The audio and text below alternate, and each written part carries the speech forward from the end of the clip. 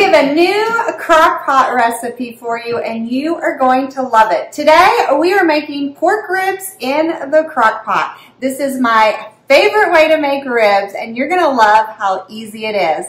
Hi, I'm Christina with eatingonadime.com and let's get cooking.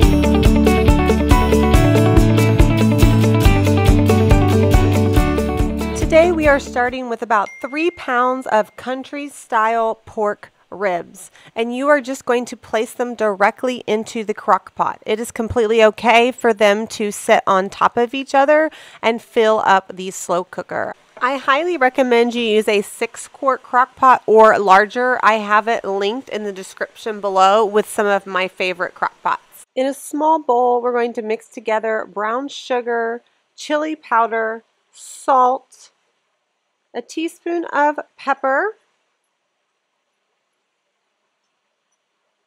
two cups of ketchup. I'm just using a regular ketchup here. We do have a recipe for homemade ketchup on our site eatingonadime.com.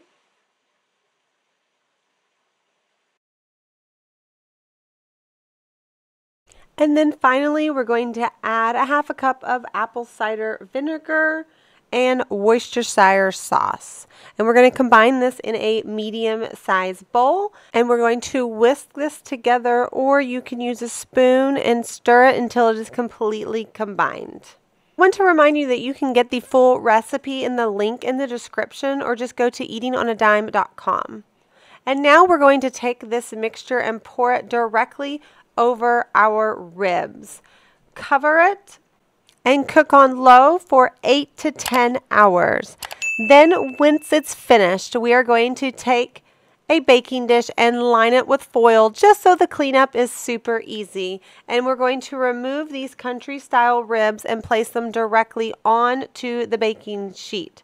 They're going to be tender friends and they are going to fall apart and that is okay because we want super tender ribs.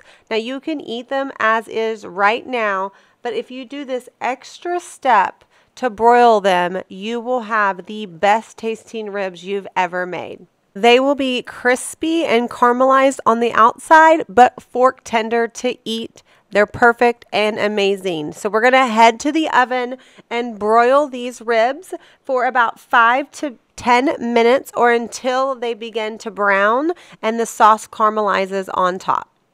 This recipe is super easy to make for a regular weeknight, but also fancy enough for when you have friends over or a family barbecue. They're fork tender and delicious. You've got to try this recipe, friends.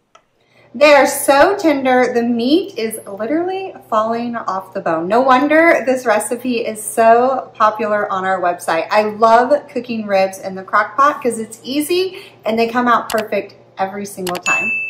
Don't forget, the link for the full recipe is in the description below.